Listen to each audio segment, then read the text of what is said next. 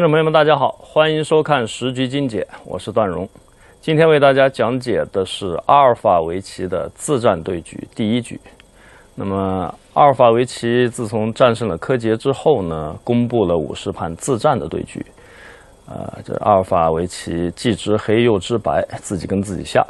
那么，这五十盘棋对于人类棋手来说，应该是一个很好的学习资料。下面呢，我们就来共同学习一下这。啊，这些棋局，好的，现在我们进入阿尔法围棋的实战。星位，这个对局的规则呢是黑棋贴七目半，每步棋的用时都是两分钟。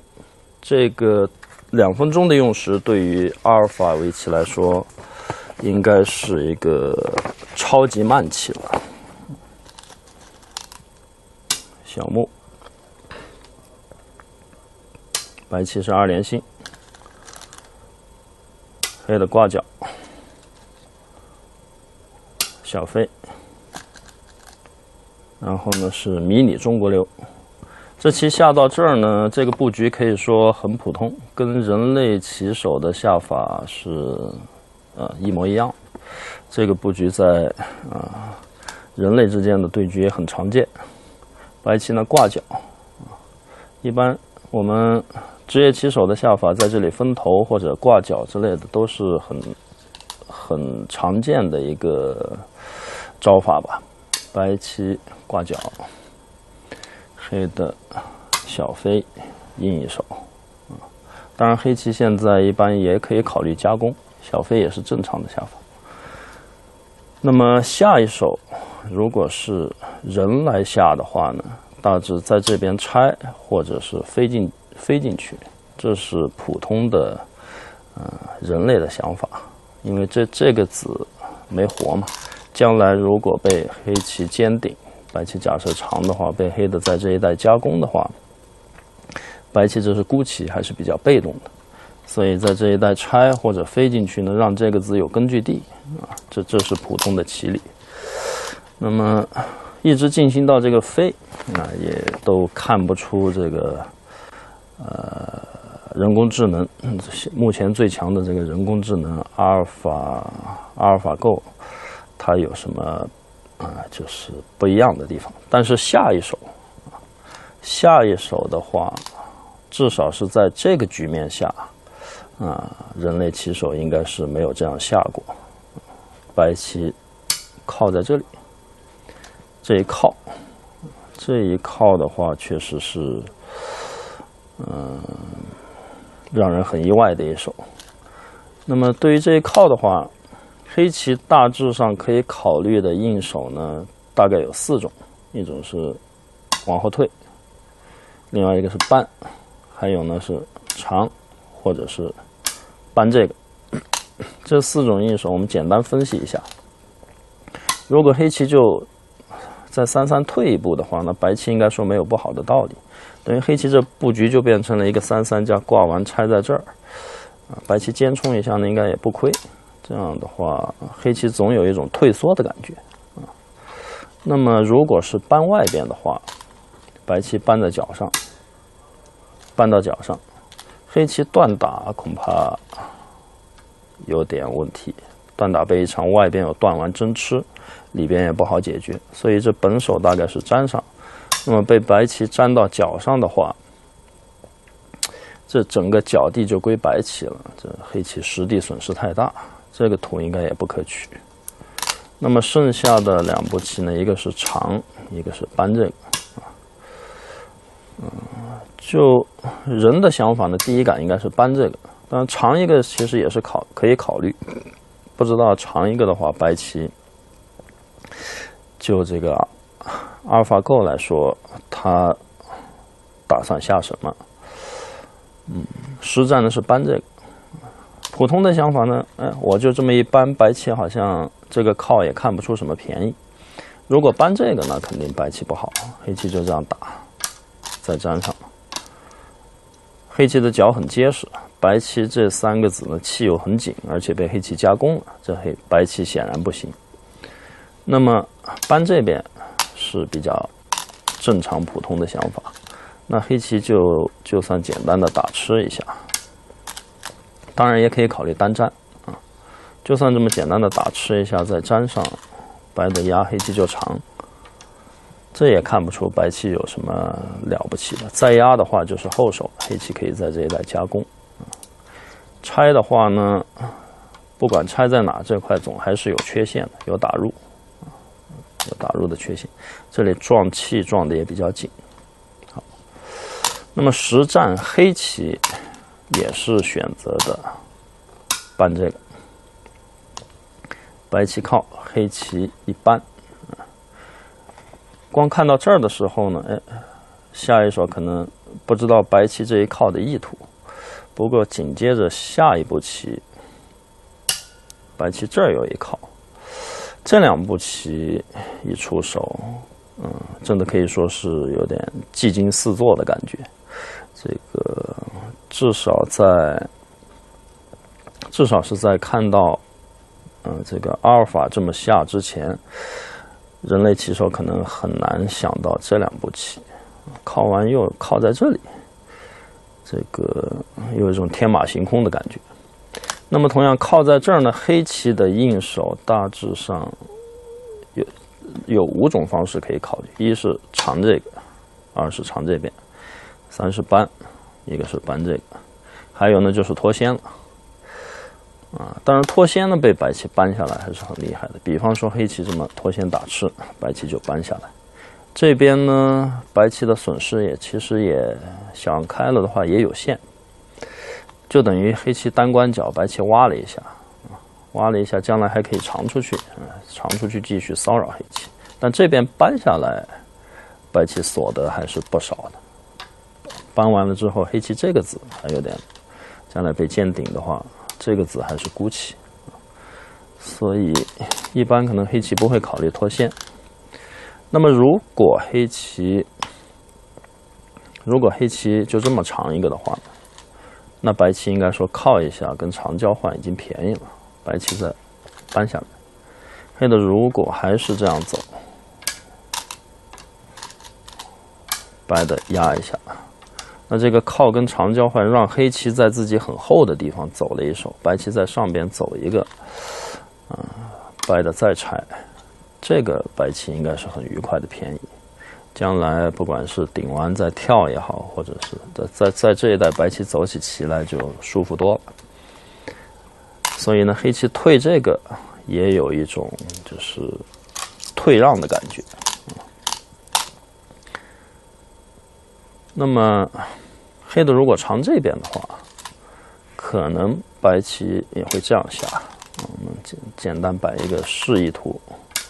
如果黑黑的还是来这个，那么白棋压，压完之后，由于靠到这一下的话，白棋再压还是先手。如果没有这个，黑棋肯定是搬。你如果搬的话，黑棋就脱先了。这里你没什么棋，我脱先站这边大场。这样的话，白棋有落空的感觉，但是靠到一下，黑棋如果搬的话，这白棋是要断，这个被断了，这两个的作用很明显。那么，如果黑棋现在脱先，这里靠到一下的话，黑棋现在脱先被搬下来了，这要想渡过，只能飞过，那也非常的委屈。甚至白棋搬到这儿，黑棋过都过不去了，这样的有可能有这样的手段。哪怕搬一下让你二路飞过，黑棋已经很难受。那黑棋如果只能再长的话，白棋又压到一下，哎，感觉上这边又强了一点。应该说白棋也有所得。那么，好的，又靠到这儿。另外一个下法呢，就是黑棋搬这边。搬这边白棋如果是从这个方向搬下来，那么黑棋就粘上。这个白棋看上去没什么了不起的，黑棋这个搬粘已经把这边走强了啊，走成实地了。白的如果从这边走呢，那黑棋就简单打吃，粘上。整个白棋都走在很窄很小的一个方向，嗯，这个显然是黑好。那么搬了之后，如果再往这边搬，也是很不合理的事情。被黑棋打完粘上，这两个子变成变成一个很大的负担，这应该不是白棋的本意。但是黑棋如果这么办的话，白棋应该不会搬下来，而是搬头。搬头，黑棋不能随便乱乱断打啊！断背一长，这要真吃，这下边要断，黑棋显然不行。那黑棋可以考虑的下法呢？最最普通的是长啊，或者粘上。如果长的话，白棋再搬，这黑棋也不能乱动啊。如果来断。白的粘，叫吃的话，白棋立下，这个应该说借用太多了，黑棋不好走。如果挡这边，白的拐吃完了之后，断打再一长，要争死黑棋。这边要争，这边要夹死，这黑棋不行。假如挡这边的话，白的。搬下来断之类的纠缠，嗯，跟黑棋纠缠，这都让黑棋很很头疼。借用很多，白棋有各种无形的先手，这黑棋可能不好办啊。所以呢，白棋搬下来的话，黑棋应该是只能退让。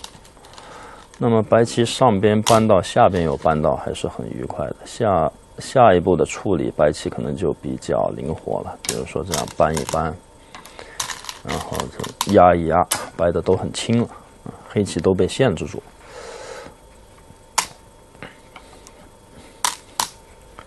所以黑棋如果扳这边的话，白棋会上扳，扳头。黑的如果接住呢，白棋这两个就当先手便宜了，把你压低了，白棋再扳下来，整个把黑棋这块限制住了。将来白棋在这边。长过来的话，也是比较舒服的。那么实战黑的选择的是搬这个，搬这，那白棋搬下来，黑棋粘上是本手，白棋靠完搬了之后，再往这儿搬。这个地方呢，黑棋除了粘上之外，唯一可以选择的、唯一可以考虑的这个啊变化就是打，打呢白棋长，这个不能被争掉，所以一定要打一下。这个时候不知道不知道白棋会做什么样的选择，是立下来呢，还是就就这样断打？如果白棋争掉一个，不知道这个阿尔法围棋是怎么判断的？如果立下来也是可以考虑的，如黑的大致要粘上，那么白的夹出来作战，这样夹出来，黑棋贴先手，白的吃掉一颗子，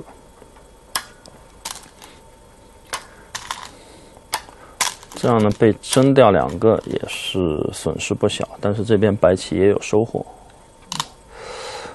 嗯实战呢，黑的没有选择，没有选择断打，而是冷静粘上。白棋再搬这个，这时候黑棋单粘啊。如果再打吃的话，将来白棋压还是还是有先手的味道啊。如果压成这样呢，这两个白子跟这两个交换，明显白棋便宜很多。把黑棋往自己很厚很强的地方挤了一圈，白的多了这两个，将来尖顶可以进攻这个子。所以呢，黑棋单占，单战，白的拆在这里，白棋呢下的很灵活，所有这些子它都很轻啊，你去吃它呢就很无聊很慢。白棋打一下又脱线了，这子也是一样的，白棋又脱线了。下的很轻灵，而你如果不走呢，白棋将来就这么立一下，立一下你要去黑棋要去吃的话，哎，他又不要，这地方白的已经形成不小的实地，而黑棋感觉很重复，你要不吃的话，他长一个先手，等会儿一长又是先手，连走两个先手，白棋这边形状非常漂亮啊，棋形也不错，实地也不小，所以呢，黑棋是打入，黑棋打入啊，他觉得白棋立下来还是很大的，打入了之后，把这个空先拿住，然后呢，下一步还要打入，白棋这两个字很薄。白的压一下，先手便宜，黑的顶住，不让白棋借镜，顶住。白棋唯一一个压先手，其他没有什么借用。之后呢，打入之后，白的如果在这边补呢，挺难受的。如果虎下来的话，还有打入。如果这一带补的话，这个是漏风的空，将来黑棋一飞，白棋这是没空的。而不补呢？显然这地方被黑棋打入，白棋还是挺薄的，都没活，所以这步打入也是相当大。靠压黑棋顶住之后，白棋不肯在这一带补棋，而是争取主动，坚顶。黑的如果长啊，这个子还是挺大的，但黑棋如果长的话，白棋应该会把这个粘上。下一步搬过来也很大。黑棋大致跳，那么白的不知道是跳或者是走的紧凑一点之类的。在这一带作战的话，白棋如果能把战场引到这一带，那么白棋相对来说还是比较主动的。而黑棋呢也没有跟着白棋走，黑棋脱线，你走你的，我走我的，我打入，黑的也打入，黑棋也想在他比较主动的战场上来作战，这一打入白棋两边都没活。如果虎这个的话，黑的就不要了啊。比如说这么断吃一下子，这这这一带黑棋还是很广阔的，或者是尖顶这个。白的呢，实战是粘上，粘上，粘上之后，下一步这扳很大，扳完连扳过来，这黑黑棋彻底就被限制住了。白棋这两个字也都连顺利连回来，所以黑的跳是绝对的要点。跳这个，跳完之后呢，进攻这两个子，同时瞄着要长出来，要长出来跟白棋这边作战。如果白棋普通的这么虎死这个子的话，白棋这边当然有一定收获，当然黑棋将来还可以再骚扰，有一定收获，但是这边。黑棋就非常主动，在这个半盘，白棋都是孤子。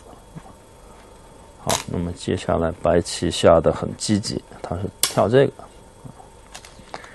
他又让你这个子不好出来，你出来的话，白白的在这一带罩了，黑棋不好逃。同时呢，跳在这儿把自己扩张了以后，也也有一点是，就是对这两个子是有一定的帮助的。下一手呢，黑棋是跳在这里，跳在这儿。黑棋的意图呢，就是你要是这两个子不跑，那么我我这样大吃啊，这个黑棋吃的还是挺大，收获不小。如果你逃出来，哎，那么我就正好，我就简单的跳，哪怕黑棋就这么简单的走一走的话，这个也是黑的相当主动。白棋一块孤棋逃出去了。啊，这边呢，黑棋很自然的就把白棋这边的潜力给限制住了。多几个子再长出来，这个力度完全不一样。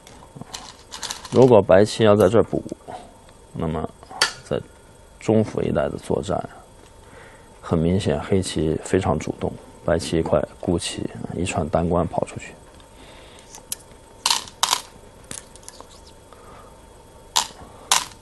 如果白的就不要了，就这么弃子的话呢，黑的应该说也是挺实在啊，实实在在的围了一块空，收获也不小。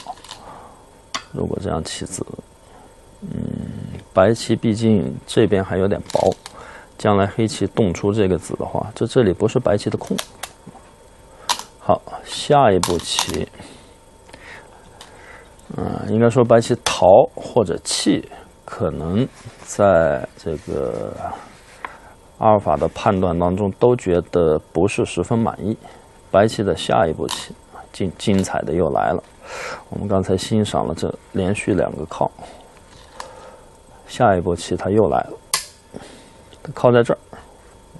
这个也是不是那么容易想到的一步棋，靠在这里，下法非常的紧凑。嗯，那么靠这个。黑棋如果这么搬的话，白棋就简单的长过来。这样黑棋如果吃这两个子就相当的无趣。白棋一路长过来，黑黑的这不好吃。白棋贴这个还是先手，这不好吃。这样被白棋冲，黑棋的形状有有有一种被冲破了的感觉。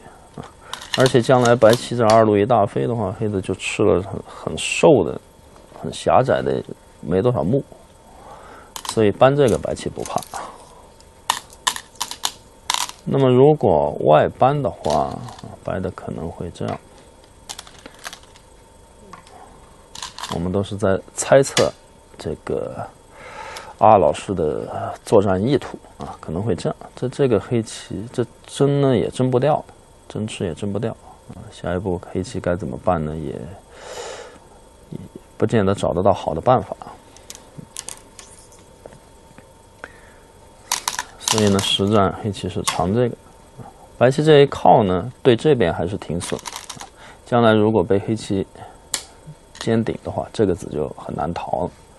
但是他这一靠的意图是这样：靠完这个之后，又靠压这边。白棋的意图就是我一一手棋就要连上了，而不是这样逃，这样逃被黑棋分断了啊！他一手棋就要连回来，这个是。他在寻求一个效率非常高的下法。黑的如果搬，那白棋就长。嗯，顶的话就长。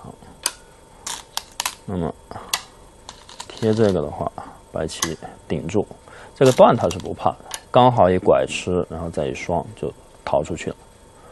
如果你这么吃，这是不成立的，因为这有一段。白棋就断这个也可以，断这个，打吃先手，再打吃之后挖死，把黑棋给挖死。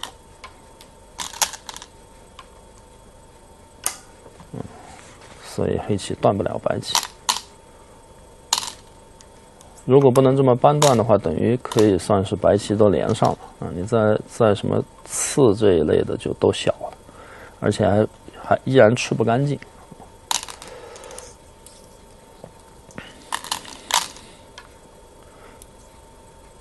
所以靠完再靠，这个下的非常紧凑，一步棋都都要连上。黑棋现在呢，冷静退一个，确实，除了这个退呢，黑的也没有太好的办法。搬的话，白棋一长，黑棋还有还有一种凑白棋走棋的感觉，退一个冷静。不给白棋借镜，我们可以看到下到现在为止，白棋下的可以说是很怎么说呢？很华丽啊，而黑棋呢非常的沉稳。贴过来要求联络，现在这个扳呢不严厉，白的一段，然后长或者小尖之类的，黑棋自己反而是孤气了。所以黑棋呢，扳这个头，他期待你单关连上。如果你单关连，那么我转而进攻这边，这这一类的。这样的话呢，虽然白棋这边连上了，但是黑的在上边有收获，而白棋白棋下的又很紧凑，扳这个，扳这，嗯，黑棋连扳。双方的下法都是非常紧凑的啊，白棋断打，黑棋接上。嗯，这时候白棋刺一下，在这个时候刺一下。我们普通的感觉，这个刺呢，黑棋要么粘上啊，要么寻取，要么在这边总是要硬啊。最普通的呢是粘上。啊，实战黑棋竟然是这地方他不走了，这是比较让人意外的。实战。没接，而是长这个。嗯，可能黑棋是考虑到刺被白棋刺一下之后，这地方白棋比如说就在这一带补个断，啊，那么将将来将来黑棋再再去断吃什么的，啊，再去这一类断吃的时候，这一次白棋应该是便宜的，上边刺一下，下边一大飞，你这什么都没吃着。如果这里有黑子再刺的话，最最起码黑棋可以可以肯定是可以考虑其他下法啊，这大飞就差多了。所以刺一下这这一点便宜，黑棋也不想给白棋占到，把这个挺过来了，有一种针锋相对的感觉。那么白棋当然是把这个冲掉，啊，冲掉呢，白棋收获还是不小的，啊，两边连上了，这个这个谷子处理好。啊黑的那一半，把白棋扳断很有价值啊！这步棋虽然看不到具体的目数，但是对厚薄关系非常大。扳了之后，黑棋整个厚了，而白棋呢这边黑的瞄着长出来，在这边呢黑棋扳断了之后，肯定是有一些手段的，穿过来啊之类的。嗯，白的呢补了一手。这毕竟这个穿穿向也非常的大，补一手，一起顶一下，先手便宜一下，白棋立，然后呢长，在左边，在左边动手了。我们可以看到，这个白的是把白棋是把右边这一带处理好了，但是黑棋把中府走后之后长出来。现在黑棋在左边这一带的战场有一种稍微有一点这个转守为攻的感觉啊，长出来不只是自己逃跑，他要威胁白棋这几个子。那白棋贴一下，这地方黑棋跟着走的话呢，白棋已经便宜了，而且黑棋也不好走，走这个呢，这这地方还留个断点，总是稍微有点难受。当然，白棋不可能现在来挖断，挖断的话被断打了，搬这个。但是这留个断点，总有一些借用。啊，走走这走这种单关也不像样子，走这个的话还有断打，也不好走。所以黑棋索性脱先了。而白棋如果少了这一贴，要在这边强攻黑棋呢，也不太现实。自己还没走好，白的贴一下，黑的呢脱线，脱线是靠这个。这当然要挡，点，那么点点一下之后，这个白棋不能这么粘三倍，三倍这一半呢，下边的眼位和目数，黑棋都得到很多。走这个呢被断掉，这明显是鱼形，所以白棋呢是。二路扳，二路扳是目前白棋最强的一个最强抵抗，可以说最强应手。那么黑棋断，白的团这个，团这个也是下的比较强。团之后呢，黑的刺一下，这个白棋总要粘上，挡住。断，这是必然的。黑棋冲，这是黑棋的先手权利啊，这是可以说是一种先手便宜。白，当然黑棋这个刺完走，这个也失去了顶了扳过的变化。但是黑棋呢，可能判断外边厚更重要一些，顶了扳过没有价值啊。这地方呢，黑的滚包一圈之后。外边接或者虎之类的，还有先手啊，黑棋就走得更厚了。然后左边压啊，黑棋是先压然后再滚包这个次序上，白棋冲这个，之后呢黑棋长，好，黑棋长，白的呢爬。半头。长，再爬，这大致都是必然的。黑棋不失时机的扳一下，白的如果挡的话，再被打一下，再长，这个白棋不好办了。将来断打的时候，黑棋又打劫啊，所以这棋形跳在这儿是棋形，这是一个基本功。跳在这里，将来白棋接上这个有眼位，黑的再长，白的一通爬。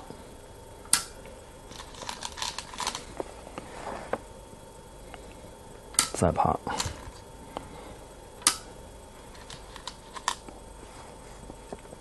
这时候呢，白的再爬，嗯，再爬，黑的如果是在这边走的话呢，黑棋现在有一个选择是活角啊，这角一尖是可以做活的，但是活角呢，黑棋判断它的价值不大，现在黑的挂角。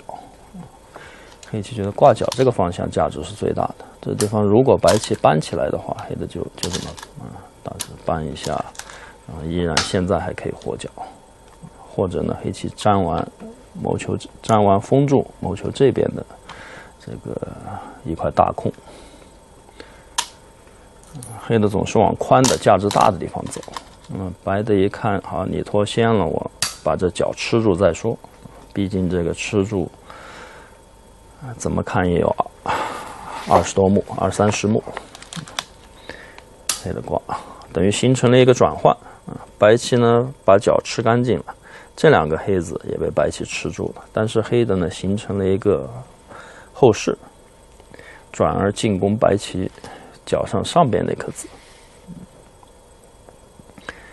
好，我们从这个阿尔法围棋的这个。布局阶段还是可以学到很多东西，特别是这盘棋的白棋啊，白棋这个两边这一靠，这一靠，然后再靠在这里，这这三步靠的话，确确实它的这个呃，按我们人类角人类棋手的角度来说，这个白棋的构思呃非常的新颖，嗯，很精彩。那么现在进入中盘战阶段。黑棋呢，进攻这个白子，白的可能觉得你来的正好啊。白棋把这个角吃住了之后，他已应该已经预见到黑棋进攻的话，我正好往中间走。往中间走的话，可以消掉你这边的潜力。如果这时候黑棋去点角的话呢，白棋就往中间游荡一下，把这块活出来。比方比方说，可能挡一下，然后再飞压。把这一带活出来，把黑棋的，把黑棋上边压压扁，嗯，黑的这个实地应该是不足，毕竟这一代白棋收获很多。好，那么所以黑棋是飞，飞，飞完再点角呢，白棋这两个要死了，所以手要求做活，白棋。白棋一小尖之后已经活了，而黑棋呢是粘的，啊，这事先粘过一下，黑棋之前就粘过一下，嗯，粘，白棋吃掉，然后呢，黑棋是飞这个，黑的现在如果围这边，那么白的尖顶一下，黑的立下，这尖顶到一下呢，将将来再挡，这里有虎断。再挡都有可能还是先手，白棋在目数上、目数和眼位上都稍稍、稍稍的有所得。黑的呢想先飞到一下，让你挡的时候我再走这个，这样的话白棋再来走家就是后手了，嗯，黑的就稍微便宜一点。白棋这时候反击了，所以双方这棋。这个走下的很紧啊，这针锋相对的地方非常多。黑的当然爬进，这一爬白棋整个没活，往外逃，进攻，搬，然后呢，正这个绝对的要点，黑棋把自己连上，把白棋包围进去，白的呢乖。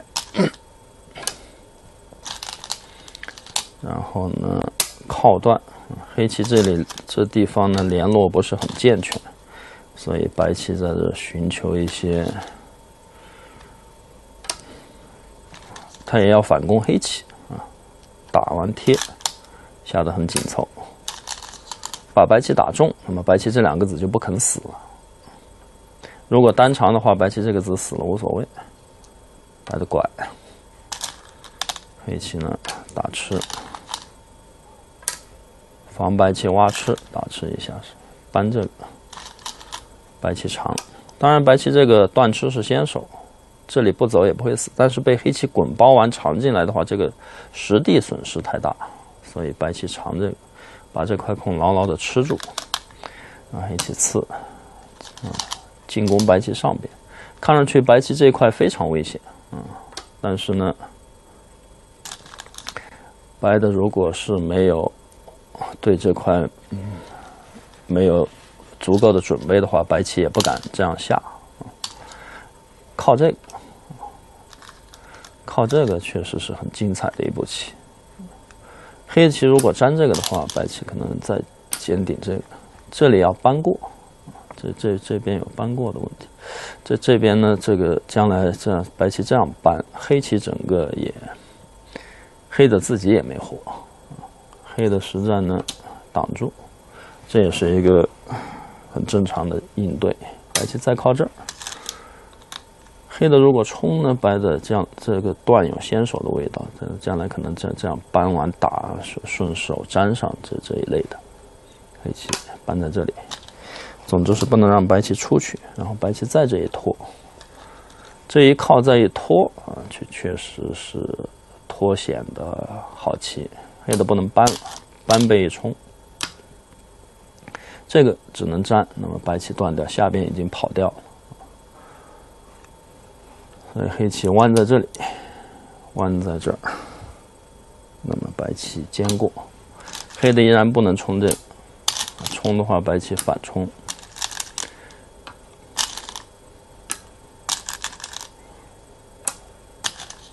嗯，这里。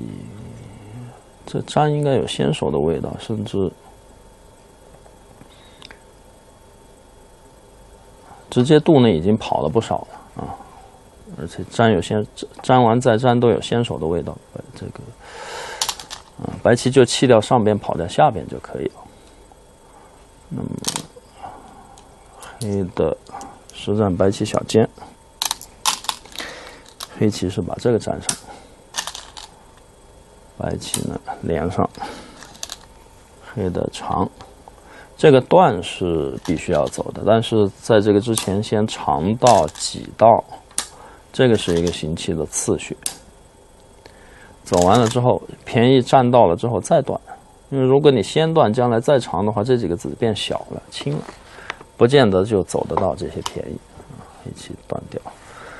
那么黑的的收获是把中间吃住，白棋把那个逃掉之后，啊，这边的地稍稍微有所增加，啊，重要的是白棋走到这一步，现在白棋是先手，又可以再挡下去，形成这样一个转换。双方这个战斗都是非常的紧凑，可以说啊，很激烈，很紧凑。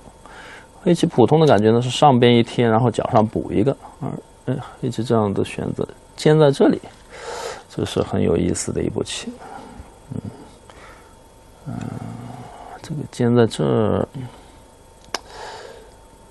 嗯，说实话没有看出来它，它的就是它究竟是有什么特别的好处啊？大致的意思就是，如果贴了走这个的话，这边被白棋先走。而尖一个，你要在这儿补一手呢，啊，这边可以黑棋先走。那么白棋是黑棋拐，黑棋夹过来，白的这挡一下，黑的叫吃，靠压，想先手便宜一下。黑棋如果退，白的就先手便宜了。黑的呢，胡。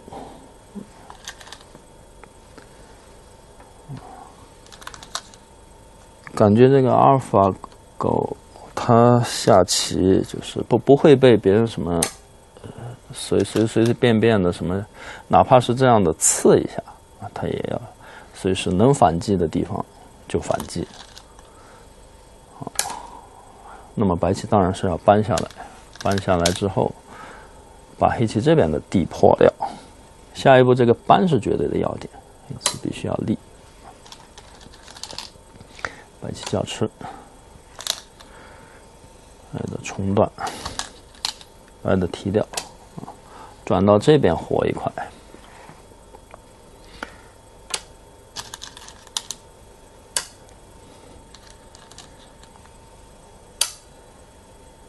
黑的呢把中间彻底的围住了，大吃一下，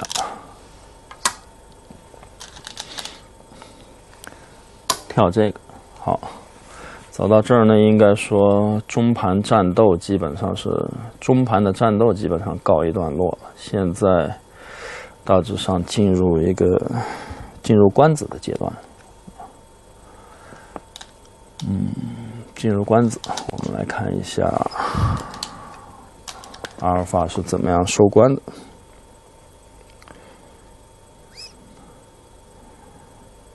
那么白棋跳这个，跳这个本身。本身是非常大的一步，黑棋粘一个是先手，这有个扑劫。现在黑棋劫财很多，这冲啊、角上都是劫财，白棋要补活。然后黑棋搬粘，所以搬粘价值非常大啊。它下一步它是要加进来，加的话白的不能立了，立被一断。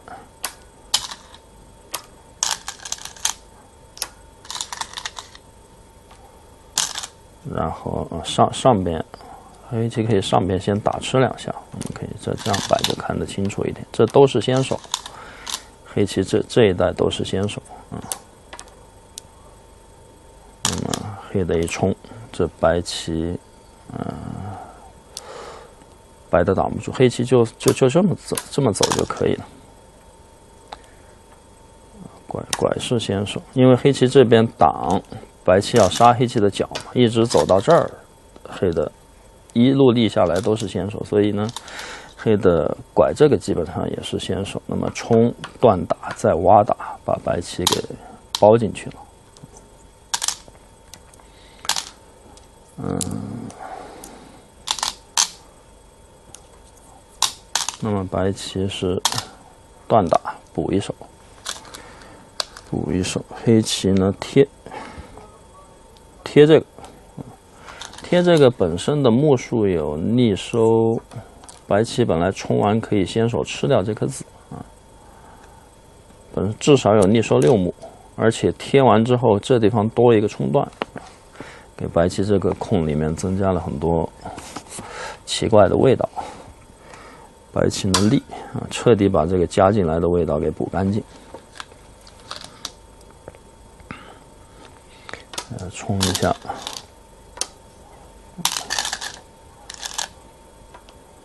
再冲，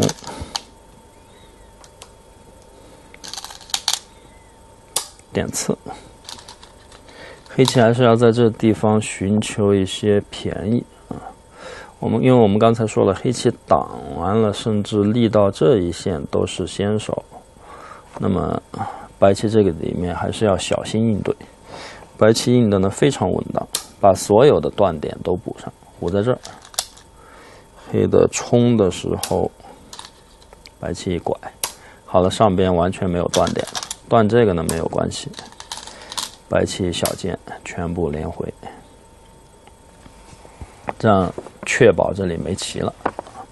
而黑棋呢，贴完冲到一下，官子也是小有便宜。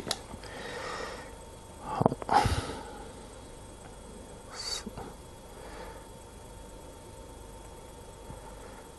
黑棋断了一下，白棋小尖，黑棋把这个提掉，提掉的价值也是蛮大的。那么白的搬，黑的挡住，从这儿搬进来，这个地方有条缝，黑棋不能断，白断的话被白棋打吃，再一断打，黑棋跑，白棋一路冲过来，这边黑棋死掉，只能挡住。那白棋粘上，初看呢，这搬完粘上好像也不是特别大啊。但是你不走的话，黑棋打吃这个是先手，所以这个白棋是一个逆收官子。逆收完了之后，它还残留，还残留一些手段。等会儿我们就会看到，搬完粘上，一起挖打，因为这地方白棋有个挖进来，有个挖进来，这只有双打吃，所以挖打一步，价值也是不小的，价值不小。那么挖打了之后，白棋是。冲在这，这样收官，冲一个，你如果断的话，我就长。虽然三个子被吃了，但是白棋呢，先手把脚上的目数都就收到了啊。先手把脚上的目数收掉，这个冲在这的收官的下法还是不错的。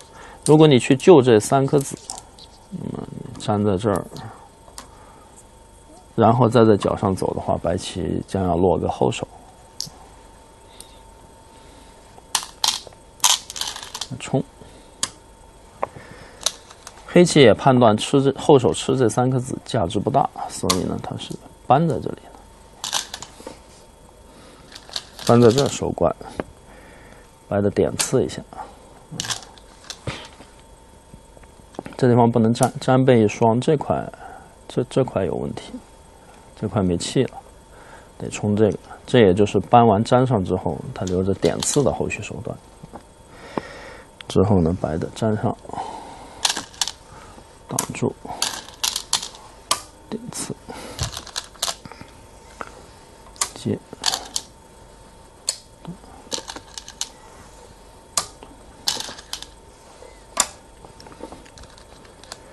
度过。一起把这个接住，接住之后，白棋这边需要联络啊，否则的话欠着一些目数。嗯，白棋断打，白棋断打，黑棋呢冲，这是黑棋的先手权利。冲完之后扑了一下，然后粘上。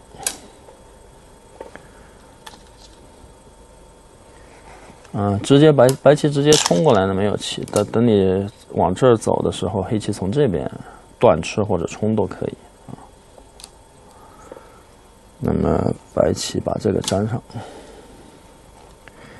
把这个粘上，粘上之后呢，他就要冲这个。嗯，黑的呢是这样补，连。大吃，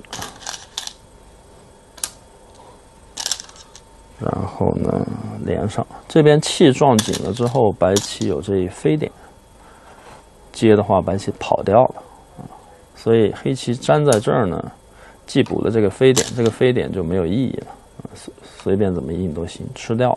白棋跑的时候紧了一气之后吃掉，既补了这个飞点，又外边多一个子。啊，这个对于黑棋来说总好的，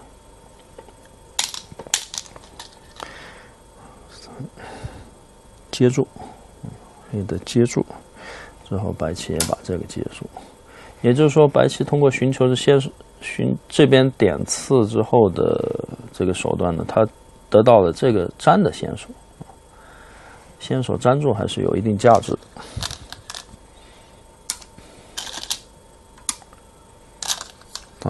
打吃冲，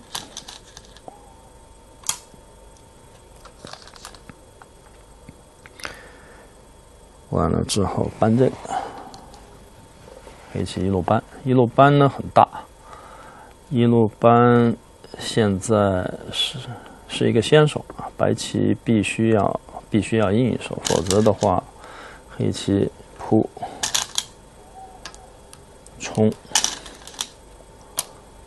完了，粘上。我们看可以看到，黑棋粘打吃都是先手，白棋尾巴是不能掉的。这里只有四口气，那么黑的这里显然已经有五口气了，白的不行。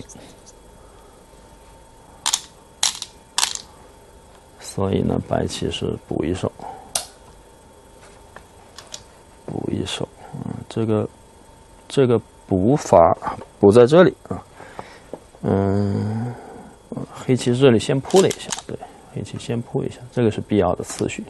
如果不铺直接搬的话，白棋补在这儿，这个目数是不一样的，脚上没有棋。先铺一下，铺提再搬，白棋站在这儿。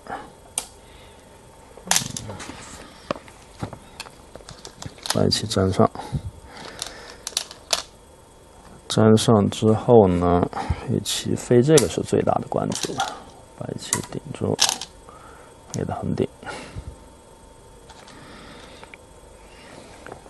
白棋扑一下，扑一下这个目数呢？从目数的角度来说呢，它应该是。怎么说呢？不亏也不便宜，因为这这地方我们算成这样的话，应该是谁都不吃亏。但是将来这里如果被黑棋挤到一下的话，多个断点啊，白棋扑，黑棋粘上之后，白棋粘是绝对先手，这样的话等于白棋就走成铁板一块，将来断点劫财什么都没了。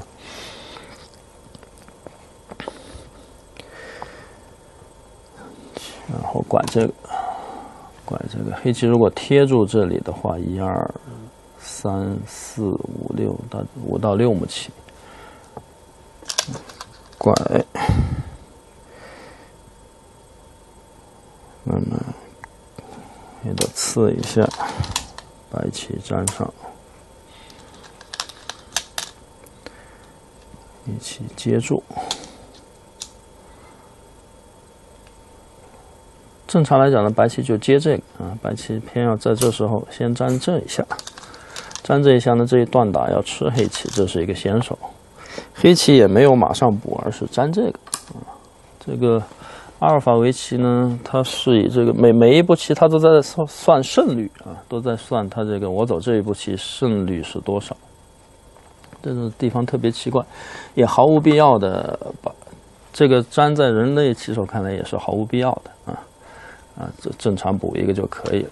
但是呢，他现在粘一下，不知道就是说，万一白棋没没算清楚目数，把这个吃掉，被黑棋吃这个的话，是黑棋占便宜了。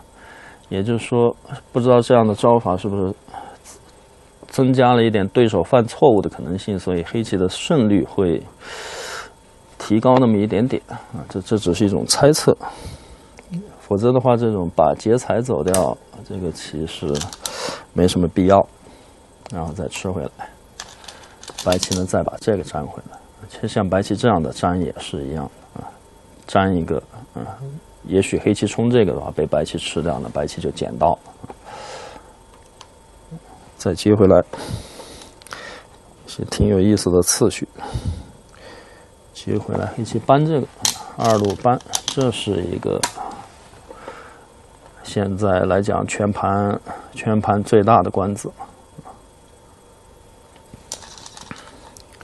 然后呢，打吃先手，再打吃先手，挡住，立下，挡，连上，冲一下。这个冲一下呢，是先手两目的价值啊，然后再挡到这个，好了，那么挡到这个之后，这彻底的进入小关子了。实际上呢，胜负已定啊，这棋。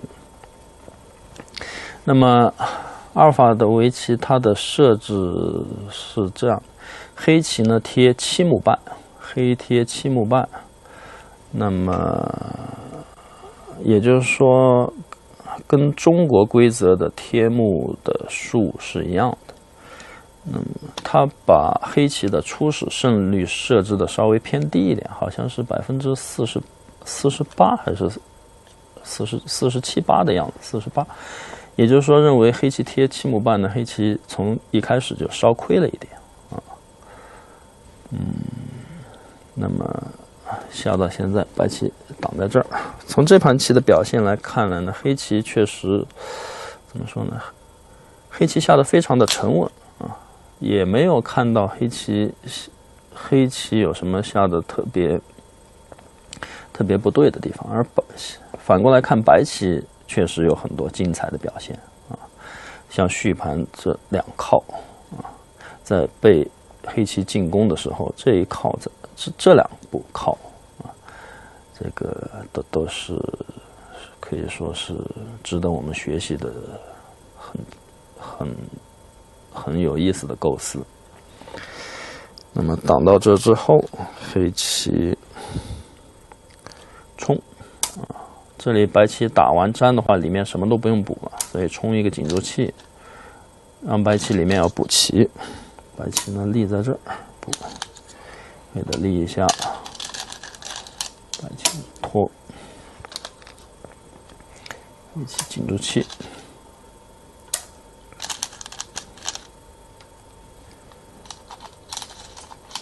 这一打一吃吃掉，啊，白的补一个，补一手，之后呢，黑棋打吃一下，把它粘上。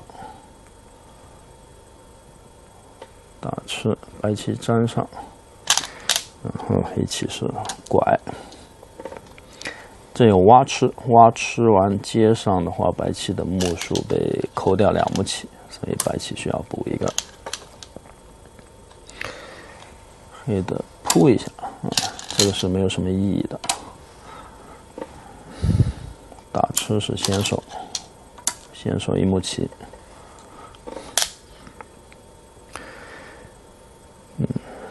打吃，完了之后打吃之后，黑棋冲吃也是先手一目，冲刺点好，前面的都还属于正常收官啊，属于正常收官。从从这步点开始，这个就有点，这个怎么说呢？这这个是。机机器下的棋嘛，黑棋现在已经就是说判断清楚了，黑的现在要输一点，这棋下的这其实确实是很精彩的，黑棋这棋不够了，但是呢输的也不多，呃下到现在应该也有个盘面六目的啊，盘面六目的样子，啊，黑的觉得正正正常这么收下去啊，你走个两目我走个两目的，呃黑的赢不了了，黑黑的开始，这这个怎么说呢？一种。这是一种机器的搅局方式吧，当然他这步走呢也不亏，因为他这个你可以看成黑棋现在收一个这个，这这也是现在正常的一步收法。这个点呢实际上是先手挤在这里，他非要这儿点一下，也许在机器看来这个是是一种增增加对方犯错误的可能性的一种，也就是说提高自己胜率的一种方式吧。白棋呢置之不理，这是当然的，因为黑棋本身这步是后手，这一气还没紧，紧了一气你可以急死我，没紧，白棋收一个后手两目，黑棋呢挡一下，挡这个，挡这个实际上是一个后手啊，由于这一气紧了之后，黑棋这脚上是该黑的哦。这棋如果我来下的话，说不定就一大意就犯错误了。黑棋立这个是先手，这有断，所以挡这个是先手。看看来机器的招法，说不定还真的能增加一点胜率啊。如果像我们这种容容易犯错误的老眼昏花的人类，以为他在搅局，挡这个是后手，可能就中计了。白棋补一手，那么。好，这棋下到这儿呢，黑棋认输了。最终这棋其实差距也不大啊，也有盘面六目的样子，也是非常精彩的一局，特别是白棋的表现。好，那么这盘棋就为大家介绍到这，谢谢您的收看，我们下次再见。